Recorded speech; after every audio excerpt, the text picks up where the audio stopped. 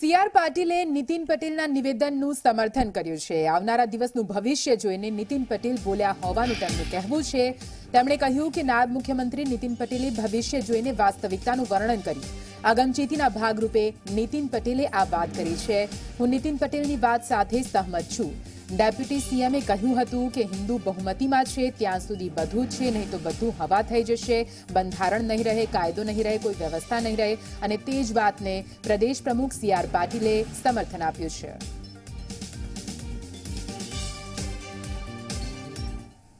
મને લાગે નીતિનભાઈએ આવનારા દિવસોનું ભવિષ્ય જોઈને એમણે વાસ્તવિકતાનું વર્ણન કર્યું છે.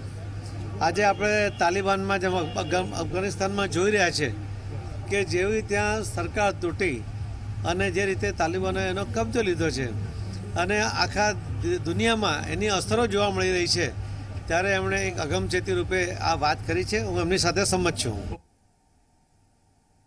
એ લોકો એમ કે છે કે અમારા સિવાય દુનિયામાં બીજો કોઈ ધર્મ હોવો જોઈએ નહીં.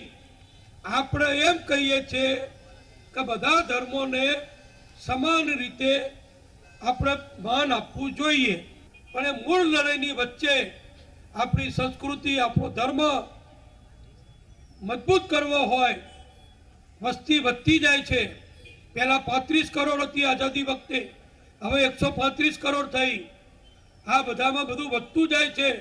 આ અત્યારે કેટલાક કહેવાતા લોકો બંધારણની વાત કરે છે, બિન સાંપ્રદાયિકતાની વાત કરે છે. પણ હું તમને કહી દઉં, આ વીડિયો ઉતારો ઉતાર લેજો. આપણે હૈયક ના હૈયે. પણ મારા શબ્દો લખી લેજો. જ્યાં સુધી આ દેશમાં હિન્દુઓની બહુમતી છે, ત્યાં સુધી જ બંધારણ, ત્યાં સુધી જ કાયદો, ત્યાં સુધી જ બિન સંપ્રદાયિકતા આ વાતો કરનારા કરશે. ના કરે ભગવાન અને હજાર બે હજાર વર્ષે હિન્દુઓની સંખ્યા ઘટી, બીજા લોકો વધ્યા, એ દ્વારા કોઈ કોર્ટ કચેરી નહીં, કોઈ લોકસભા નહીં, કોઈ બંધારણ નહીં, કોઈ બિન સાંપ્રદાયિકતા નહીં, બધું હવામાં અને દફનાઈ જશે કશું નહીં રે. આ તો ઓછા છે.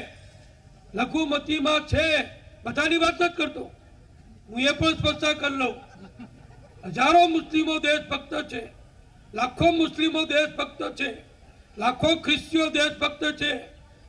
હજારો મુસ્લિમો ભારતીય સેનામાં છે. હજારો સેંકડો મુસ્લિમો ગુજરાતના પોલીસ દળમાં છે. એ બધા દેશભક્ત છે. પણ જે નથી, એ બધા લોકો, આ બધી લોકશાહી બંધારણ અને આ સોશિયલ મીડિયા આવ્યું ત્યારથી આ નખોદ વધારે થઈ ગયું છે.